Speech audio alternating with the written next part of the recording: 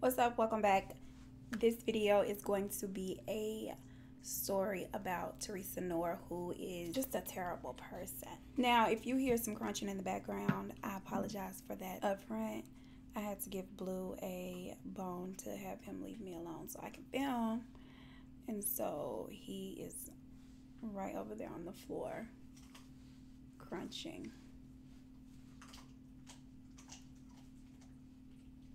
So Theresa Knorr was the second born of four children. She was raised in a household with both her parents. See, so don't feel bad if your child is being raised by just one parent because apparently two parent households ain't turning out the best kids either. When Theresa was about 14, her father was diagnosed with Parkinson's disease, so he had to quit his job, and that really messed with him. So he became very abusive, but not towards the mother. I guess because he needed her to keep working and bring in that bacon since he couldn't anymore, you know. Instead, he started taking out a lot of his frustrations on the kids, and obviously, Theresa became very much attached to her mother because apparently that was the only parent she had that was worth more than two dead flat smash. But unfortunately for Theresa, while walking to the store with her mother at the age of 15, she suffers a heart attack and literally dies in little Theresa's arms. And this is very, very devastating for her. So now she's left with her father, who's, you know, abusive and he is struggling to take care of them because he's left with four kids and he can't work and his wife was bringing in the money and she is now deceased desperate to get just out of her household and her current situation with her father she drops out of high school and marries very young a man that is 21. This is back in like, I guess the 50s. So I don't know. I guess that was a thing. And it was okay. She was very controlling of her husband. Even though he was five years older than her, she was pretty much just trying to run it. And he did not like it. But they did produce a child. And when she was pregnant with the second, with their second child, it just became too much for him and he was just like you know what i'm leaving i can't take this anymore i can't do this with you anymore and when he turns to leave she shoots him in the back with a rifle killing him because she was pregnant and she just looked so innocent and sweet and she claimed self-defense. She was acquitted of all charges and she did not spend any time behind bars.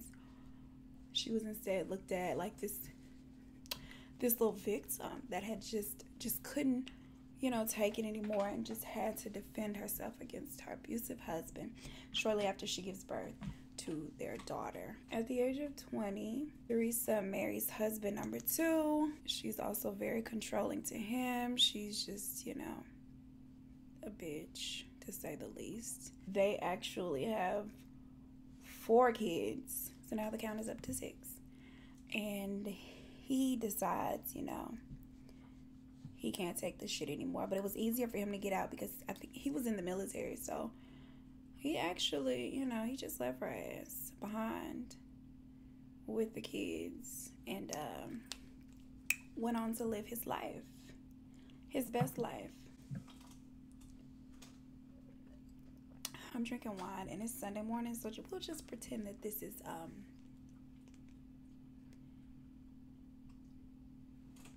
what is it called when you eat the little cracker? I don't know why commissary is coming to my mind. I'm such a heathen. Like that's something to do with jail, and I'm trying to think of something that has something to do with religion.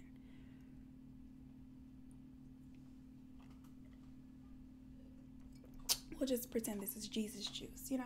Anyway, she marries two more times after that, and both marriages go the same. She is insane, controlling. They get sick of her shit and they leave her. She didn't manage to kill anybody else, which is good. Well, any of her husbands. I guess she gets to a point where she can no longer convince anybody to just marry her. And she's just stuck at the house with these six kids. She became very abusive to them and she would often tell them that you know she didn't want them she was stuck with them And since she was, they would have to pay because she was stuck with them and didn't want to be. She would often pick one to like really beat, and she would force the other five to hold that one down.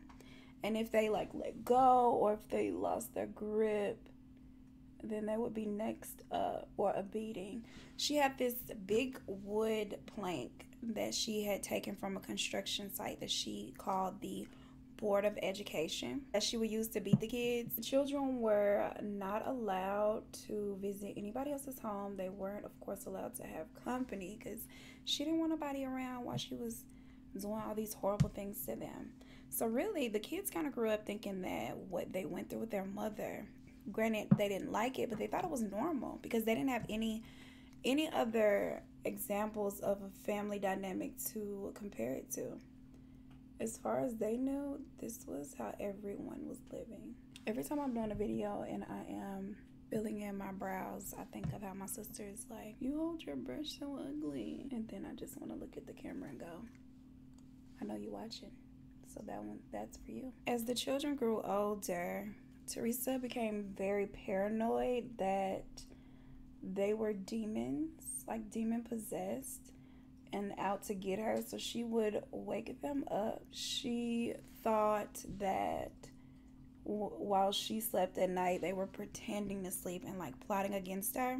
So she would go get all of them out of bed, bring them down to the living room, and make them sit on their knees, facing away from her, and staying awake literally all night long on their knees to keep an eye on them. If they would fall asleep or nod off, she would hit them with this board of education she used. And they would have to stay like that until the sun came up. When the sun came up, she would tell them that the demons had left them and that it was okay for them to then either go to school or go to bed if it was a weekend. She was just insane. So she would do that quite often. And yeah.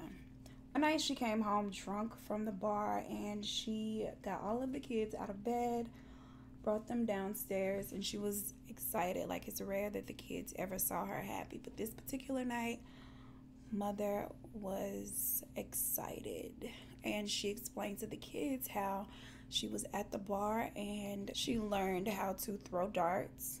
And this guy came in and he, instead of throwing darts, pulled out a set of knives and he was throwing knives. And he taught her, and she was just so good at it. Like she just was so good. She wanted to show them her newfound skills and talents and instead of using a dartboard, she wanted to use the children. One by one, she wanted them to stand with their backs against the wall and allow her to throw knives their way. And because she was so good, they had nothing to worry about because she wouldn't miss. I mean, she would miss. So her first son, William, goes and puts his little back against the wall and she tosses the first knife and misses barely. He takes off running because he is literally petrified, and so he's like, I gotta get out of here. Next, she called her daughter Sheila to the wall. She tosses the knife, and unfortunately, this time she is not so lucky, and the knife penetrates Sheila. Theresa becomes like enraged. She is pissed. She goes onto a rant. She is accusing Sheila of moving and making her stab her on purpose. And she's just upset that, you know, not that her child is bleeding and stabbed with a knife. She's pissed because her skills looked off and she had already bragged on herself. So, yeah. She doesn't get little Sheila any medical attention. Instead, she just goes and gets some butterfly bandages and some gauze and she closes her up and sends all of the kids to bed.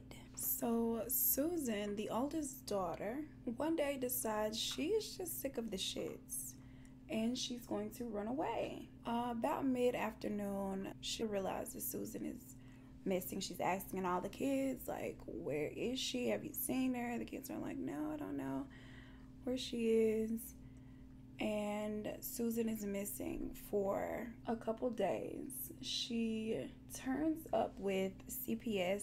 They interview all of the children one by one individually because Susan, of course, had told them about the abuse that they had suffered at the hands of their psychotic mother. But the crazy thing is, they interviewed them each along with Theresa. So they're asking the children, like, has your mother ever hurt you? Have you witnessed her hurt any of your siblings? And Theresa's bald headed ass is standing in the background, like, like telling them, you know, like, you know, you know the mama look like, giving them the mother look like, motherfucker, you better not blow this. And so, of course, the kids are afraid in the presence of their psychotic mother, which I just don't get for the life of me. Like, some kids may, you know, take that as an opportunity and be like, yes, this bitch be hitting me. But more often than not, I would think the kids would do just as these kids did and be just too afraid to say anything. So, after the kids are interviewed and none of them blow the whistle. Child Protective Services just mark Susan as a runaway and they don't do anything else. They return her to the household, say, you know, she's just being a troubled teen and she's run away. And there's no harm, no foul here. Now, of course, Theresa is not going to allow Susan to just come back into the house. She has to be punished for her betrayal, which is what crazy ass Theresa saw her act as. She takes Susan and handcuffs her underneath the table of the dining room where they sat for dinner. Well, first she beat her, of course. She administered her her beating, and then she handcuffed Susan underneath this table where she left her handcuffed for the next couple years. She would force feed her and oftentimes past the point of Susan explaining to her or, you know, expressing that she was full, which would then cause her to vomit, and then she will force her to also eat the vomit. She also had her ball gagged, so the only time she wasn't gagged is when she was eating. This scared the other children into silence, like even further. They already were afraid to speak up, but if nothing else made them feel like speaking up was not the right thing or the safe thing to do, this definitely did. And that was her point of doing this, like to just show them if you try that shit, this will happen to you, or maybe something even worse. So, as the years go by and the children are getting a little older, and Theresa is a little more paranoid, she decides that it's best that she pulls them out of school. She pulls each one of them out, telling the school that she's moving, and forces the oldest to start delivering paper newspapers around the neighborhood to bring in some income because she was only getting a little bit of income. I think she was on public assistance, so she wasn't getting much. She refused to give the two oldest that she had working a ride to work. Instead, she would trail them in her car the entire way. Like, never once was she say, hey, you know, just hop in. Rain, sleet, or snow, she is just trailing behind them in her car just to make sure they went to work and didn't try any funny business.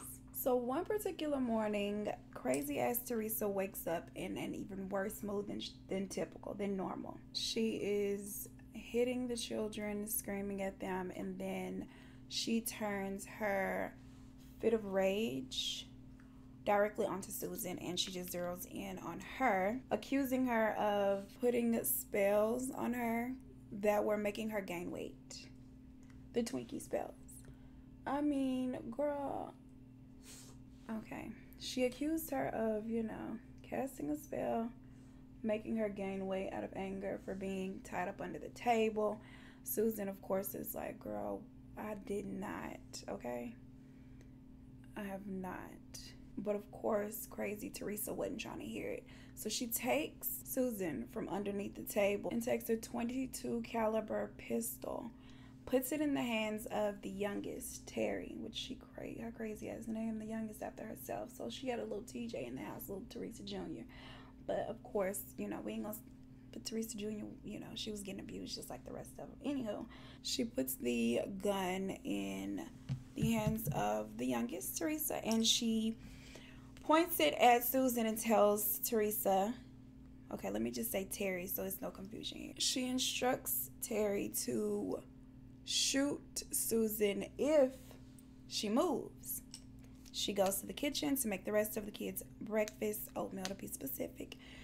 And she has the oldest son go to set the table, but he drops the spoons as he's carrying them. And as the noise clanks, it startles Terry and the gun goes off. She accidentally shoots Susan in the abdomen.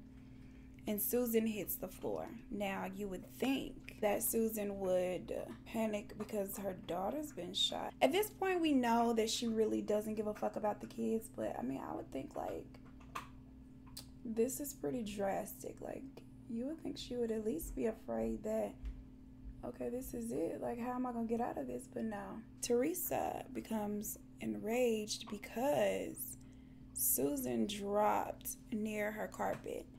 And so she is pissed that the blood is almost on her carpet. She runs to get towels to clean the carpet. Meanwhile, Susan is laid out on the floor. She's not screaming. She's like She's unconscious at this point. Theresa's cleaning up the floor, cleaning up the her beloved carpet, and then she has her sons take Susan's body to the bathroom and put her in the tub. She does not call 911. She doesn't remove the bullet. She just leaves her there in the tub unconscious. She put gauze over the entry wound. Mind you, the bullet became lodged in Susan's back. So she doesn't attempt to remove the bullet. She just gauzes her up, and this time she just uses tape. She tapes gauze over the wound and she leaves her in the tub until she wakes up. When she wakes up, she refuses to give her daughter any pain medicine. She says this is not her fault. She just leaves her there. She instructs her to stay there until she is healed enough to go back underneath the kitchen table. So that's where she leaves her for the next month. And as soon as she was strong enough or healed enough to go back underneath the table, that's where she went. She just handcuffed her back under the table. And at this point, Susan, of course, is in so much pain and she's just had enough. Like, she just can't take it anymore. She begins to beg every day. Every day, she's like constantly begging to be let go. She says she won't say anything. She promises to disappear. She won't contact Child Protective Services or the police or anything anymore. Like, she's just like, let me go. I'll disappear. Like, I won't say anything. I won't do anything. Just let me go. She can't take it anymore. She just she just can't. This goes on for about a year. And finally, Susan decides that she's going to entertain the idea of releasing her under one condition. She has to allow her to remove the bullet from her because she said that that would be evidence and that she could not let her go with that evidence. Susan begs, like, you know, no, let's just not. Let's just, please just let me go. But of course, Mother Teresa, what are the odds? She is not allowing her daughter to leave there with the bullet. So one day she decides that she's going to perform a little makeshift surgery. She takes Susan from the from underneath the table, lays her out on the kitchen floor, and she this time gives her medicine like over the counter pain medicine. And with that and rubbing alcohol, she decides she's going to try to perform surgery on her daughter and remove this bullet. But mind you, the bullet went into her abdomen, and of course, she hasn't had any kind of x rays. Like, she doesn't know exactly where this bullet is. She's just kind of getting in there and feeling around looking for this 22 caliber bullet. Of course, Susan's body goes into shock and she passes out shortly after her mother has cut her open and it's just like digging around in there. Like it's insane. And finally, she actually removes it. Like she actually locates it and removes it. And when she does, she leaves Susan laying on the floor, unconscious. She tells the other kids that when she wakes up and when she heals up, she can go. She's free to go. But she pretty much has to do it on her own. Like she has to wake up and get up and go on her own. After a few days, infection starts to set in, and Susan is in pretty bad shape. Like her eyes are yellow. She's very weak. She's barely there. She's like in and out of consciousness, and then one day she passes out, and Theresa tells the children that she's dead. They don't know this for sure, but they just roll with it.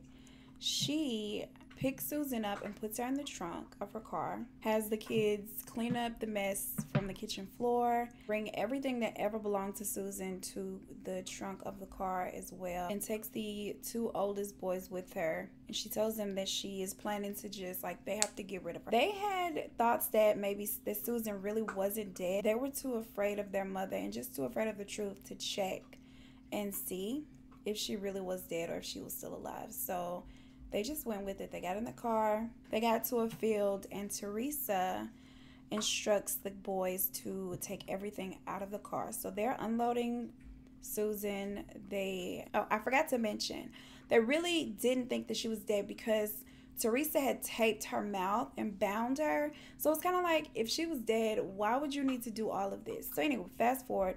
She has them unload Theresa and all of her belongings into the field and when they go back to get into the car, or when they turn to go back to the car, they're met by Theresa with a gun pointed at them. And she has gasoline and matches, and she tells them to douse everything in the fuel and to light it. And so they go back and they light all of her belongings on fire. And she's just like, no, no, no. I said everything, including Susan. So she forces them. I mean, at this point, she's like, if you don't do it, I'm going to kill your ass too. And they're afraid. So they do it. And they just felt terrible because, I mean, they feel like, you know, they're really having to burn their sister alive. Like, I guess it's crazy.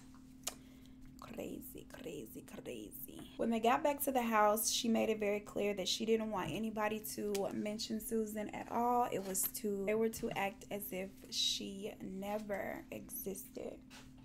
And that's what happened. It was like she was never there. But of course, Theresa needs someone to abuse. Like she needs someone to take her anger out on. So she moves her anger and rage toward her other daughter, who is the second oldest daughter. Sheila. Theresa did not want to work and she really needed money. She began to force Sheila into prostitution so that they could have money. Like it's really gotta be a special a special section in hell for people who abuse children, especially mothers or parents at all who sell their children. Like really? She becomes Sheila's pimp soon after that she accuses Sheila of becoming pregnant and giving her a STD from the common toilet that they shared. So she felt like Sheila must have gotten an STD from one of her Johns, put it on the toilet seat. She sat down to pee and became infected. And so she was upset with Sheila. And this particular day, she gave her a beating way worse than the ones before. She not only beat her, but she tied her up and put her in a put her in an airless closet without food and water and she left her there where she was knocking on the door and pleading to get out for 3 days.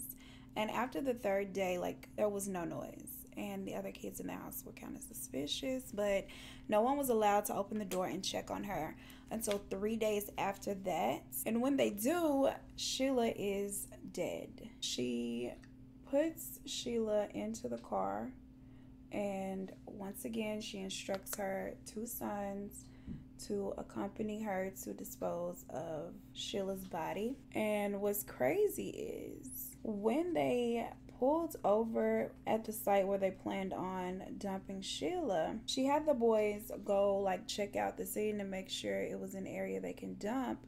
And then an officer pulls up. She tells the officer that she just came back from a road trip and it's been a long drive and she just had to pull over to get some rest. And so that's why she was pulled over. He does not realize that this smell is coming from inside her car.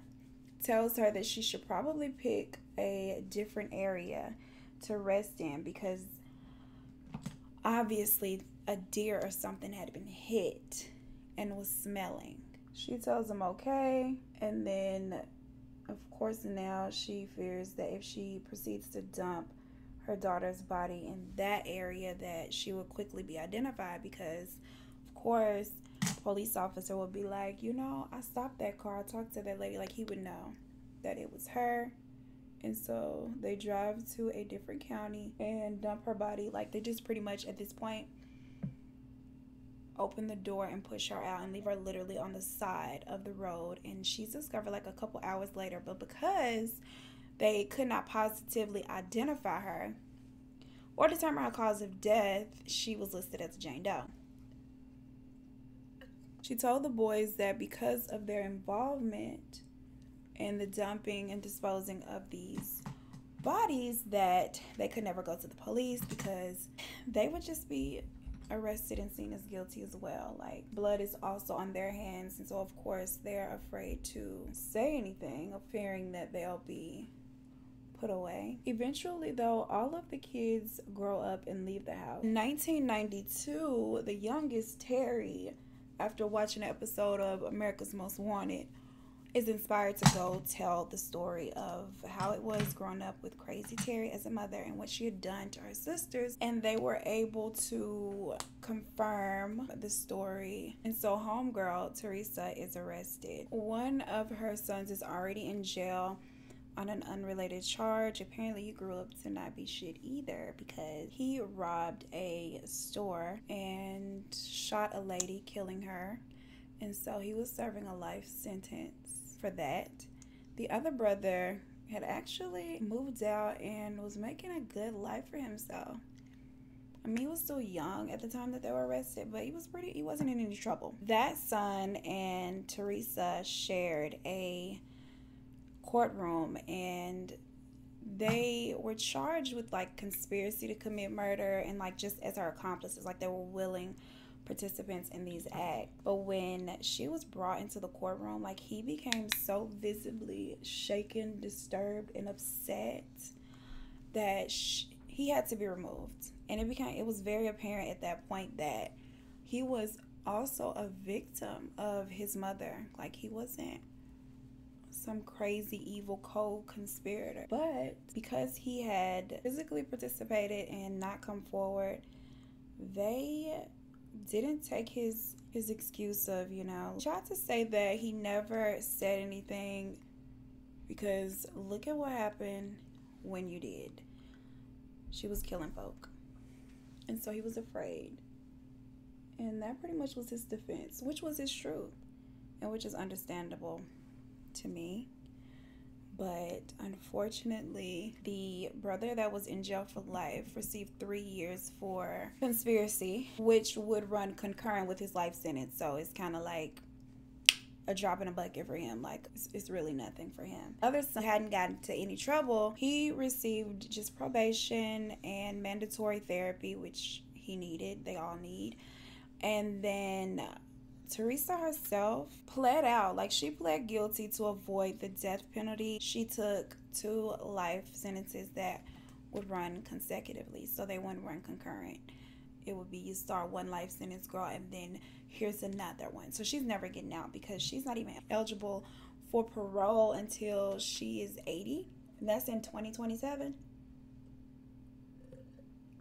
That's only in seven years. Anyway, she probably ain't getting that shit because she's evil. She's an evil bitch. And that is it for this story. If you liked it, please give it a thumbs up. Don't forget to like, share, comment, subscribe. if you have not. And I will see you in the next one. Peace.